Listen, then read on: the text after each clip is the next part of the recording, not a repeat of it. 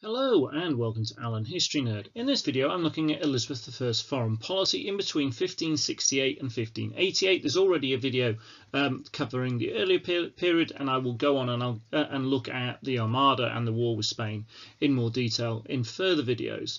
This video will concentrate on proposal, plot and this movement towards the outbreak of war with Spain looking at the um, the specification in terms of what it tells us to do, so this is aimed at A-level history, in particular the AQA Unit 1C, which is a really uh, popular uh, unit at A-level history.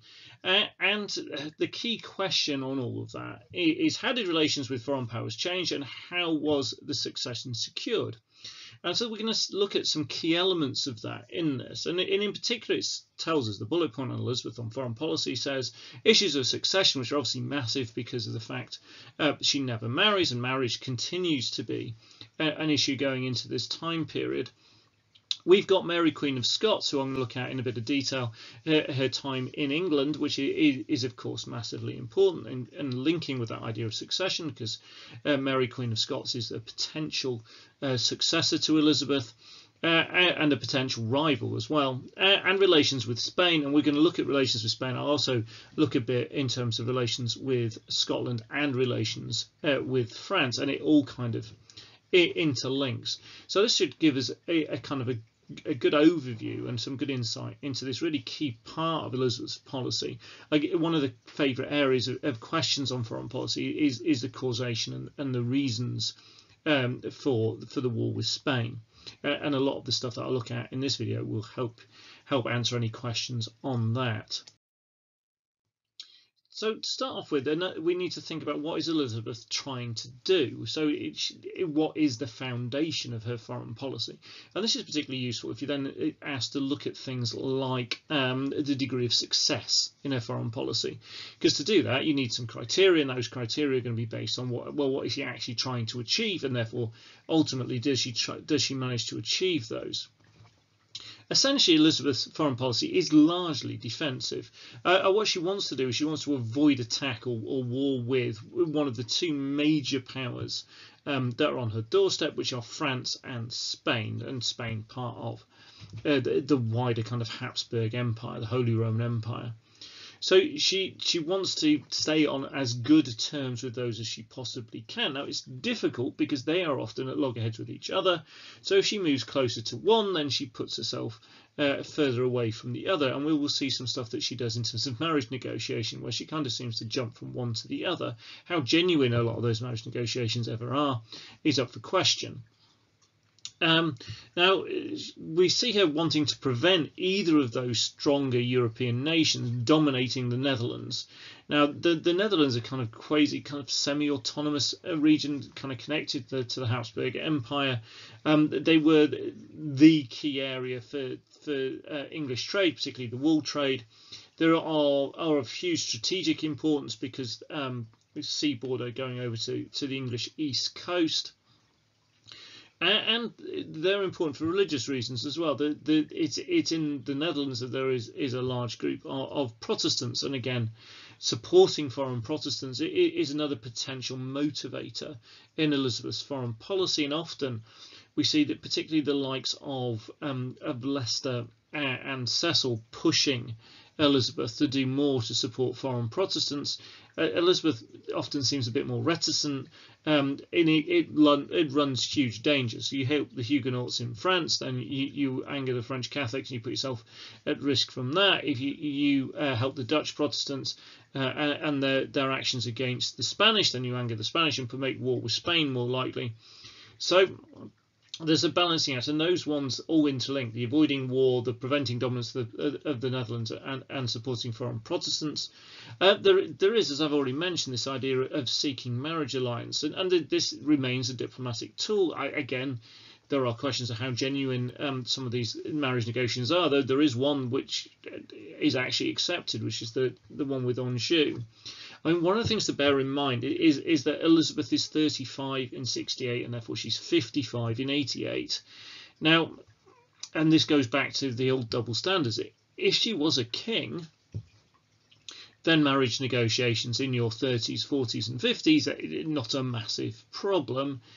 as a queen, um, then this can be looked at as very different. And we see again with the the uh, negotiations with Anjou in the late 70s, there's suddenly this huge fear of uh, amongst some of her council that if she does go ahead with it, what risk of childbirth, what risk of, of Anjou ending up putting himself on the throne if she died. So the, if she died in childbirth in particular. And there's also this idea of promoting trade and exploration. And, and again, in that she will clash with Spain because um, Spain has laid claim to, to the New World. So lots of lots of key things that she's trying to do, and some of those try tend to conflict with each other.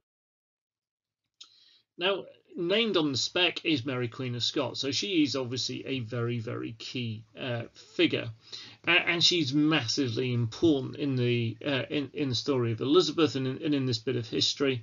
and we will see there's a whole range of plots that uh, centre around her. There's a rebellion that centre around her. Now she's arrived in England in in 68, uh, and she she fled from Scotland where she'd been overthrown, uh, and there the, was the casket letters that implicated Mary in the, the murder of her husband, uh, Lord Darnley, her second husband. And so she comes in under well a huge cloud, uh, and she's kept prisoner in various locations in northern England. You go and visit kind of old houses and, and, and castles and stuff in northern England, then they'll tell you that they had Mary Queen of Scots at some point. And she she was um, kept in, in, in fairly good, fairly kind of luxurious surroundings, but she was in, in essence a, a, a prisoner. Now she poses a, a huge problem um, for for Elizabeth. Now the two of them never met, so don't ignore things you might see in, in slightly shoddy films. Um, so they never meet. Now Mary, on one hand, is Elizabeth's cousin, uh, and she is a fellow female ruler in in a in a world where that is um, hugely uh, unusual and difficult. And so there is, in that way, a kind of affinity between uh, Elizabeth uh, and Mary. But also, she's a potential um, rival to Elizabeth's throne, and she is very much going to be the focus of Catholic discontent in England. So Mary is someone who Elizabeth might have feeling, feelings, positive feelings or feelings of affinity towards, but is also someone uh, who is a potential threat. Now this is highlighted in 1569 when the Northern Rebellion takes place uh, and the plan behind that was um, to free Mary, marry her to the Duke of Norfolk, invade Scotland and then their kids would be, uh, them or their kids would, would be the natural heirs to the English throne as well. Um, you know, this is seen as a direct attempt to, to take the throne from Elizabeth by Elizabeth and her council, and the Norfolk backs out. Uh, the Northern Rebellion uh, is defeated. Uh, uh, Elizabeth is completely ruthless in her in her crushing of it. Now, Norfolk and Mary both survive this, which went against the advice of some of Elizabeth's advisors. In 71, you then get the Ridolfi plot. Now, the Ridolfi plot was centered around a, Ridolfi, an Italian banker. His plot involved the Spanish landing and and and supporting put, putting Mary Queen of Scots and Norfolk on the English throne. Uh, there was it's never actually 100% clear that genuinely was um, Spanish support behind this, but Elizabeth had been excommunicated the year before there was some big implica- some some big ramifications from this. and It did lead to uh, the execution of Norfolk, who was the closest male rel- male relative to Elizabeth, but it didn't, again, despite the advice of some of her councillors, lead to the execution of Mary Queen of Scots. And the plots then just keep coming. So in, in 83 84, there is the Throckmorton um, plot. This corresponded with a time where there was lots of Catholic missionaries coming into England and trying to to to read, lead a kind of counter Reformation and spread uh, spread Catholic ideas and undermine Elizabeth's rule. Uh, and it involved some various plans for invasion, the Throckmorton plan. So the, there was a, the idea that the Spanish would invade Lancashire, which is again a strong stronghold for Catholicism. But uh, again, there's not much evidence to back that up as a, a genuine possibility more likely uh, was part of the plot, which was for the Duke of Guise, who was Mary's cousin, to land in Sussex. Uh, and then uh, there are various historians, uh, far more knowledgeable than I am, who have looked at this in a lot of detail. So the likes of Bossy, who believe that this was a, a real genuine threat. The, the plot was broken by a, an agent of Walsingham, Elizabeth's spy master, uh, who had a spy in the, the, French embassy, and this led to the expulsion of Mendoza, who was the Spanish ambassador, uh, and the creation of uh, the Bond of Association, which was a, a bond, an oath that was taken by um, by members of the, the gentry and nobility and key lots of key figures across England who, who swore that they would uh, they would fight and die to defend uh, Elizabeth against her, her enemies. Obviously, this the idea of this was to eradicate all these plots. It doesn't work completely. In in 85, we have the the Parry plot. Again, this aim to assassinate Elizabeth and replace her with Mary. Now, there's there's lots of kind of I don't know, kind of 16th century James Bond in all of this. It, it's unclear whether Parry was a double agent or maybe even a triple agent. Um, so he had been employed to spy on the Catholics by Elizabeth's government. Um, whether he'd then been turned by the Catholics, whether he would pretended to be turned by the Catholics to, to pull this plot out, whether again it leads to his his execution whether this was just because simply he knew too much about what was going on or because this was a genuine plot it's not 100% clear the next plot is, is, is, I think, probably the most famous of them because it, it, it, leads to the execution of Mary Queen of Scots, and that's the Babington plot. It took it took place in the backdrop of, of growing tension and English intervention in the Netherlands. So so war with Spain is looking uh, well. I, some would argue war with Spain has already started uh, at this point uh, with uh, fighting in the Netherlands. And what we see here is messages being passed to to Mary in what was known as the barrel post. I mean, post. So in barrels of, uh, of beer coming in, um, the there was like a, a, a sealed tube uh, in the top of the barrel which had these coded messages in it, and they would come in and out of the, where where Mary was being held. Uh, as uh, as this was happening, um, Cecil uh, uh, uh, had complete control and knowledge of what was going on. The the um, the messages were being intercepted. The code was broken, so they were being read, and then they were being put back in the barrels and, and let to go. And, and essentially, this was left left to happen until they had the their key evidence to um, to put uh, Mary on trial and lead to her execution. Um, and, and that was done because there was a letter in which Mary consented to the assassination of Elizabeth, and, and that was to, enough to, to lead to her trial and then her execution. Um, so Mary uh, fights her, her, cause very admirably. She states that the, the court had no ju uh, jurisdiction to try her because uh, she was a, a monarch and these were the, the, the, the, the only person she was potentially answerable to at all was Elizabeth, and Elizabeth wasn't there. She said all the letters were forgeries, and, and they denied that it was her signature or, or that had been her giving consent. But again, it was a fairly foregone conclusion, despite the, the incredibly brave face Mary put on, that, that she was convicted. There's then this huge delay, so a four month delay until her execution. Elizabeth seemed absolutely torn. She did, not want to execute uh, this fellow monarch. Again, it doesn't set a very good uh, example as a monarch, does it? If if a, a group of noblemen can put a, a, a, queen on trial and find her guilty and then lead to her execution, probably a precedent that Elizabeth didn't want to set. She did at one point uh, sign a warrant. Uh, Davison then sealed the warrant and took it, and and the execution was carried out. Uh, Elizabeth was furious when she found out uh, that Mary had been executed, so saying it wasn't what she wanted to happen.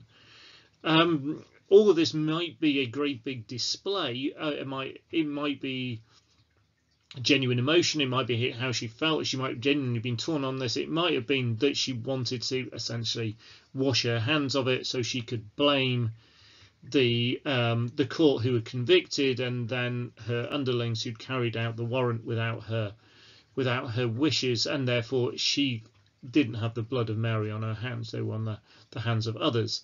So again, that an area where there's much kind of historical debate on that one obviously all this stuff with Mary Queen of Scots affects him it impacts on relations with Scotland and this is always a lot smoother than you would potentially think it is having looked at, at what happened with Mary Queen of Scots So the Protestant lords expelled Mary in 68, and the Protestant lords and the English generally got on reasonably well. Um, the uh, the new king of Scotland is James VI, who, who was Mary's son. Uh, again, very very young uh, when all this happens, uh, and then Scotland essentially has its own issues really at this point in time with, with its own Reformation and, and conflict between Protestants and Catholics in Scotland. Uh, we then kind of go forward to, to 1586 and we see the Treaty of Berwick, which promotes peace, harmony, and a defensive league with England, and also a, a pension for James. And then a year later, Elizabeth executes James's mum. A year after that, James assures Elizabeth of his support as she faces the uh, Armada. Now, going a bit beyond the kind of time frame of this video, but just to kind of spell out where where this goes on. So it seems odd there isn't more of a reaction to from from James, particularly as he gets older, with his mum being first of all held prisoner in the na neighbouring uh, country and then executed, where his eyes are on the prize of the English throne. Uh, he marries Anne of Denmark in 89. They have uh, multiple children, three of whom um, survive into, into adulthood. From 1601, he was in close correspondence with Robert Cecil, the Elizabeth chief minister. In 1603, he becomes James I of England. So, in terms of succession, uh, Mary, for a lot of time, well, up until her execution in 87, was seen as the the the, clo the closest blood relative, the person who was had the strongest claim to the throne after Elizabeth. So, if Elizabeth had died before Mary was executed, then it seemed that would be the next person in line to the throne once um, Mary has been uh, uh, been executed, then it becomes clear that the next in line would be James, and James does whatever he can to position himself so he's on good terms um, with the, the English court. Should that opportunity for him to become the English king, king should come around, and so that's why that bit runs off that, and why there isn't a massive war with Scotland when the Scottish Queen is executed. Because remember, the Scots have thrown that is Mary Queen of Scots out uh, following um, the the murder of Darnley uh, and a, a, a, a war, a, a, series of battles between her and the Lords. Relations with with France. So this is an area I think is is really fascinating, but it not often um, the, the the absolute focus on it. I remember, the specification mentions Spain, but to, to understand relations with Spain, you have to understand relations with France because essentially, if Elizabeth is on good terms with one, she's on bad terms with the other, and and vice versa. Now, earlier on, again, we talked about in terms of one of the motives of her foreign policy was to support um, foreign Protestants. Well, we, we, we saw her supporting Huguenots in 1562 to 1564, um, and but this proved to be uh, to, to hugely unsuccessful and, and leads to the, the, the Treaty of Troyes, uh, uh, uh, which um, was not a good treaty for the English. Now we see uh, relations improve again. Kind of 68 to 70, we we see marriage negotiations with Henri, Duke of Anjou, uh, not to be confused with the later Duke of Anjou. Um, and he was heir to the French throne, uh, and this was all taking place at the time where Elizabeth had seized some Spanish treasure ships, and so it looked like kind of an English-French alliance against the Spanish Habsburg Empire uh, would probably be a, a, good bet for Elizabeth. Uh, and we, we see this. The marriage doesn't happen, but in 72 we, we see the, the Treaty of Blois, uh, a defensive league against Spain, and um, in that the French said that they wouldn't support Mary Queen of Scots' claim to the English throne, because I'm going back to the old alliance, and Mary had spent um, most of her, her formative years in in France and had been um, uh, had been married to uh, the, the, French Dauphin. So that looks like relations are getting better with France and a case, as, as you'd expect, probably deter deteriorating with Spain at this time because we've got all the stuff going on with all the plots and all of that. The problem in 72 is, is in April, everything looks like it's pretty good. But then in August, you get the St. Bartholomew's massacre in France. And this is a massacre of French Protestants, the Huguenots. And this really damages uh, relations with England because it's very difficult for Elizabeth as, as the, the, the, the supposedly the, the, leading Protestant monarch to be on close terms with a country which has just massacred Protestants. Um, there were demands or, or, calls for her to act more strongly and defend the, the Huguenots, but part of the the things she said the fingers burned back in in the 1560s and part of it was, she was in, in in no position to do anything particularly with the the threat from spain and all the plots and all the difficulties she'd having just been rebellion so uh, england's response to this was, was fairly tame then we have the, the the the well the closest Elizabeth ever gets to getting married. I mean that she actually accepted this proposal. So we've then got Francis, who's now the Duke of Anjou, who is is the younger brother of Hon, uh, uh, of Henri. Um, now Elizabeth called her him her little frog. Um, actually agreed to marry him. They they, they they, they seem to be in love. It depends on what sources you look at, but there, there is at least the appearance of it because there are a series of love letters written between them. Now, this is part of the way diplomacy works at that point in time, and, and, and the real motivations behind these these things are maybe um, slightly more political and slightly um, less romantic. But we um, we do see um, a, a, movement towards a marriage. Now, Francis um, was known to, to be small. He had he had some very strong um, smallpox scars, um, and he was 20 years younger than Elizabeth. Um, originally, the, the marriage had support within the council, but eventually the council ends up completely divided. And, and in fact, Elizabeth says she can't move forward because of those divisions. Um, the fear was the risk of childbirth for Elizabeth, given her age. Um, so she's a she's what uh, she's 45 to 48 at this time. Um, uh, and they they were also worried about Anjou's character. What what was he up to? What was he after? Uh, there was various kind of wild accusations about parts of Anjou's personal life as well. Um, there was uh, there was also a lot of anti-French feeling within England. Uh, there were some pamphlets and stuff produced attacking uh, attacking Anjou.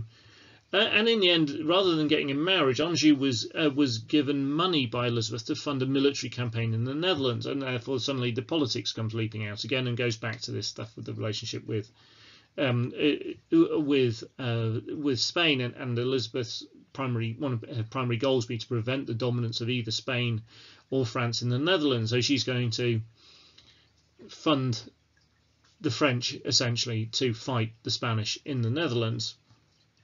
He actually then tries to claim the Netherlands for himself, but he, he is driven out, uh, and, and then he, he dies in 1581.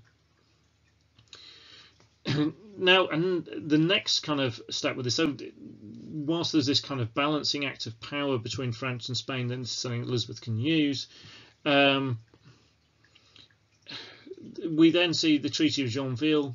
Uh, now, now, the Huguenot Henry uh, of Navarre is the next in line to the French throne, but we see then see a, the French Catholic League signing a treaty, Treaty of Joinville, with the Spanish. So, and that Catholic League it, it includes the Guise family. Um, that's the Guise family who are uh, related to Mary Queen of Scots. So the Treaty of Joinville is, is really bad news for Elizabeth, and, and it looks like we might end up with France and Spain getting on, and France and Spain getting on potentially is the worst possible news for Elizabeth.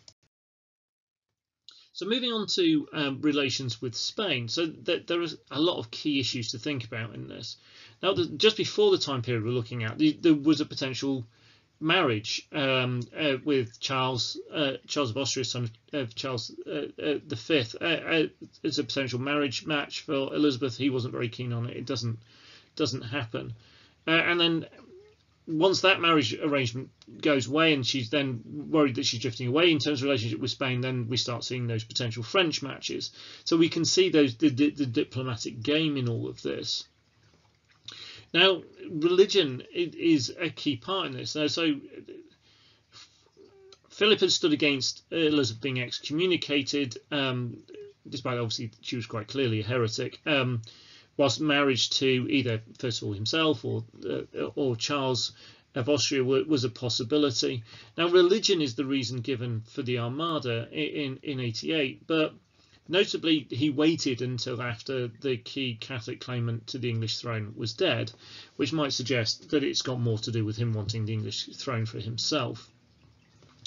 A lot of stuff to do with um, relations with Spain is to do with the New World and trade and and piracy by the English, or privateers as, as, as they're called, to try and make it sound um, slightly less uh, like they're just ships that go around attacking other ships and nicking the stuff on them, uh, which is essentially what um, a lot of the time Drake and Hawkins and the other English privateers did. So the Spanish saw them as pirates.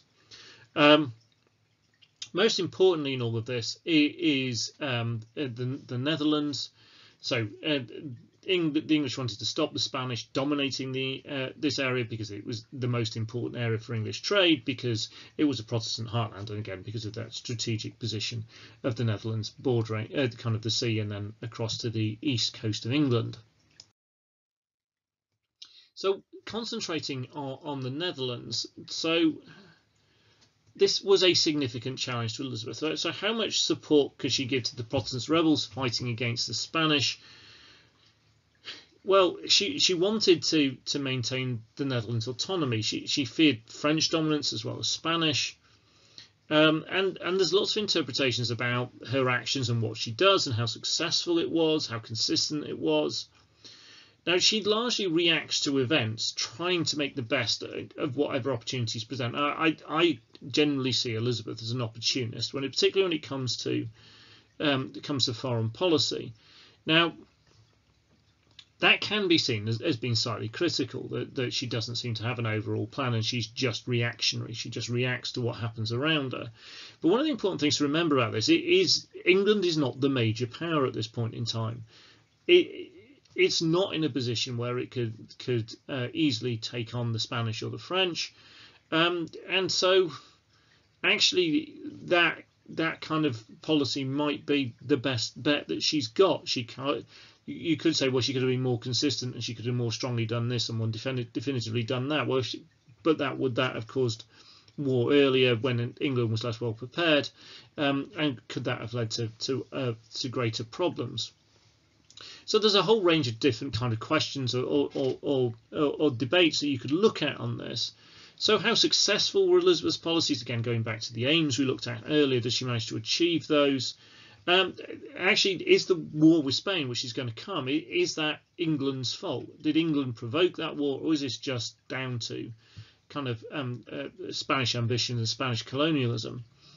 Uh, and how consistent was Elizabeth's approach? And again, and because you've got this kind of change in continuity stem that we use in A-level history essays, and so does, does her policy change at a given point, or is there is it consistent going through? If it changes, is that a problem, or is that is that just sensible? Is this just good? Elizabeth is a, a good, clever politician, understanding the world around her.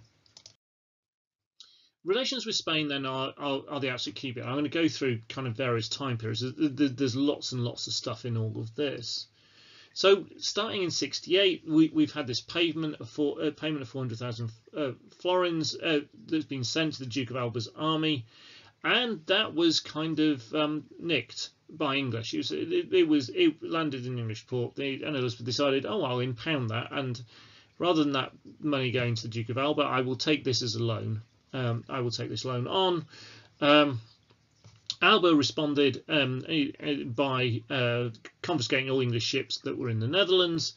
Um, then this led to Elizabeth banning all trade with the Netherlands and Spain, and, and that ban was not fully overturned or fully trade wasn't fully restored until 73. Now this is very, very damaging to the English wool trade. So this is one where Elizabeth seems to just take a big gamble, uh, and the consequences of it uh, were pretty bad actually, but it, it but they, it doesn't lead to war. So again, it, what was this a, a well placed gamble?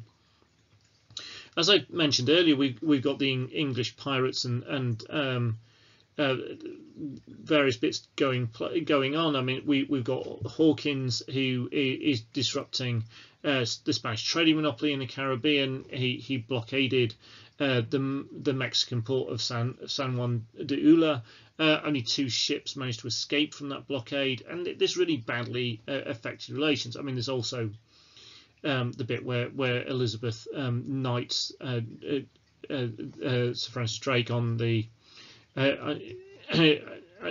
on the uh, Golden Hind, and, and again, this is seen as he's seen again as a pirate by the uh, by the Spanish, and so uh, this is seen as, as being highly provocative. So Elizabeth, in a relationship with her adventurers, her traders, her pirates, is something, and their disruption of what was going on in the New World and, and attacking Spanish tre treasure ships in particular um, was something that caused a great deal of tension.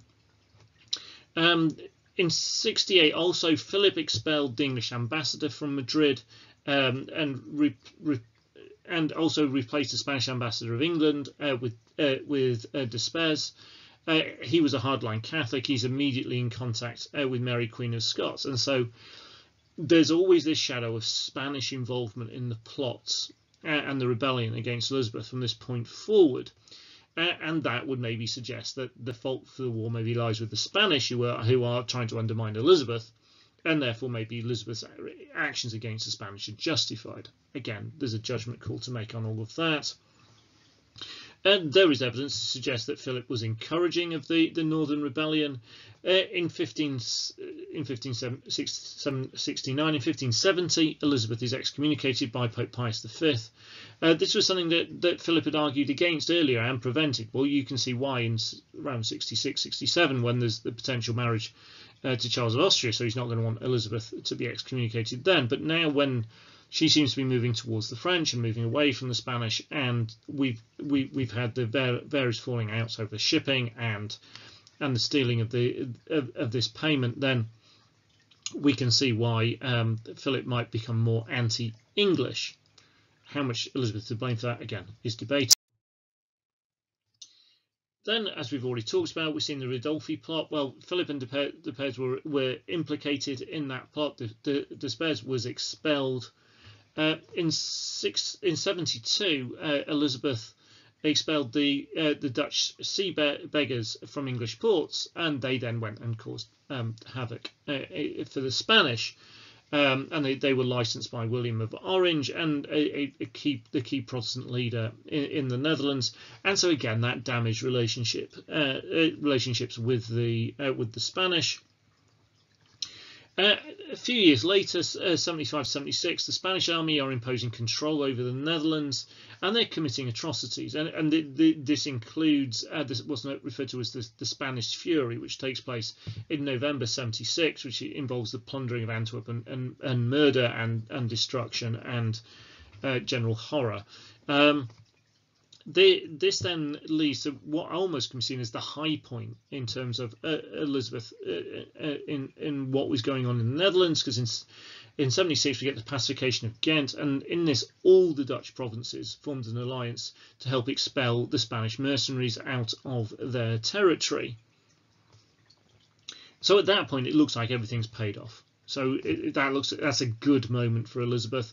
She she wants the Netherlands to be autonomous. She wants she she wants the Spanish and, and French to be kicked out. So at that point, the um, it, the the the Dutch are united and fighting the Spanish, and that all looks good.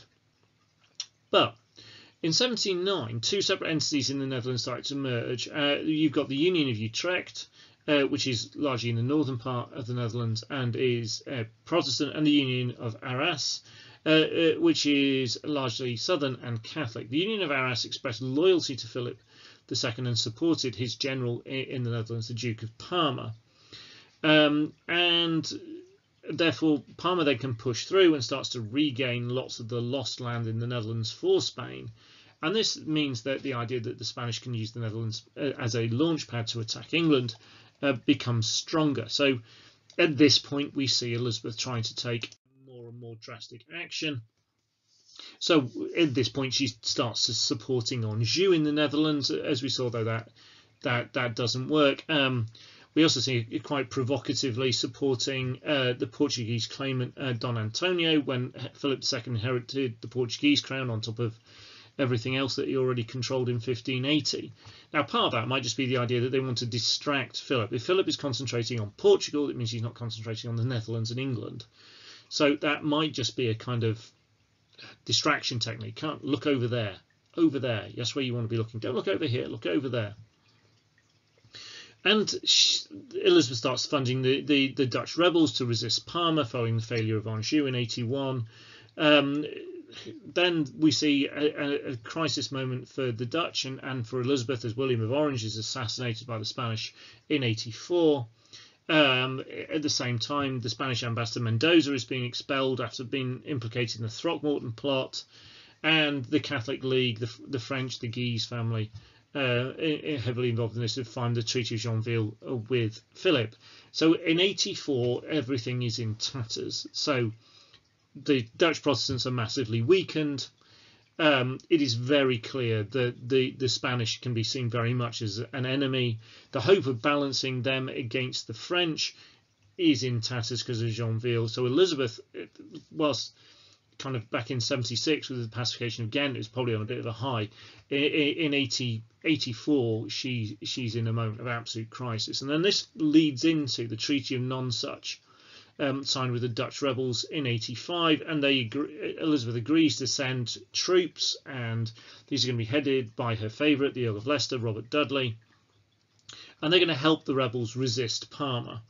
So unofficially, this is actually the the start of the uh, the Spanish English War, and again you can say that Elizabeth is is playing a very key role in starting that. Now you can say there has been a huge amount of provocation by um, the Spanish, but is it kind of six of one, half a dozen of the other, or, or can you actually lay more blame at Elizabeth's door?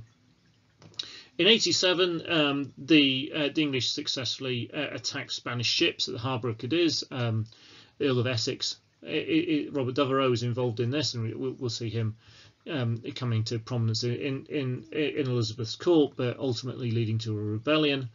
Uh, his uh, stepfather, uh, Leicester Robert Dudley, proved to be an absolute disaster in the Netherlands. So his men were ill-disciplined, kind of, and this turned the Dutch against them. His commanders quarrelled with each other. Even worse, some went over to Parma and kind of handed him some Dutch towns um, that had been taken off them. Uh, and Leicester himself quarrelled with the Dutch and seemed to be getting too big for his boots. So in 87 he is recalled. And uh, at this point, relations with Spain have completely collapsed. Uh, Mary Queen of Scots is no more, uh, and in 1588 the Spanish Armada sets sail. Now, I will look at the details of uh, the Armada and uh, the, the war with Spain in, in, another video. Is again, I think that's a kind of almost a, a separate section. Often the way that essays and things work on this part is, is you, you're given 20 years or so before, up until 88, and asked why does the war with Spain happen? And hopefully the details in uh, in this video will help you uh, answer that question, going through giving, giving you all the key events and understanding what Elizabeth was, was trying to do, and then giving you an opportunity to build in your own judgments and arguments in terms of, well, how good a job is she doing at all these different points? Think about consistency. How does policy change over time? And and think about how much option, how much choices she's got to do it anything differently. Could it have been done better? Is it would that have been possible? So I hope it's been helpful for you. If it has been, please hit the, the like. If you have any questions or comments, please leave those below.